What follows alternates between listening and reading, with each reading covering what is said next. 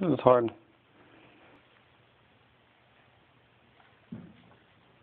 Kind of blurry. It is blurry. Can you two fix it? I don't know.